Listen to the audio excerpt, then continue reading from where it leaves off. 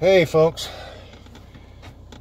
just picked up my meat from the meat processor, my second deer, and it looks like we had 77 pounds of meat from that last doe, so ought to be some real good eating there.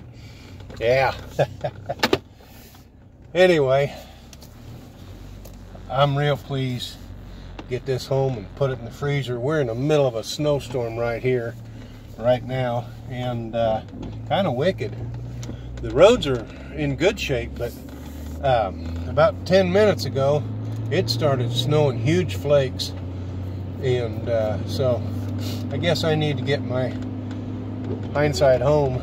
I've already went in for a doctor's appointment this morning and got some blood drawn and they're checking things out. Got a little x-ray done because I don't know if I broke a rib or just a cartilage between two ribs. But anyway, it's been quite a week working on the cabin build, so just thought I'd get a little video out there, let you know that I did get my meat picked up, and so uh, between the two of them, looks like I got about 160 pounds of meat for the freezer this year. That's pretty good, I think. Um, yeah, anyway, Greg. You're watching Greg's Country Cabin Outdoors. Thanks for watching.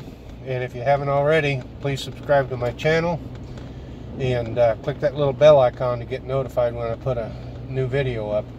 Uh, there's more video coming from the cabin build, uh, John T's cabin. So stay tuned.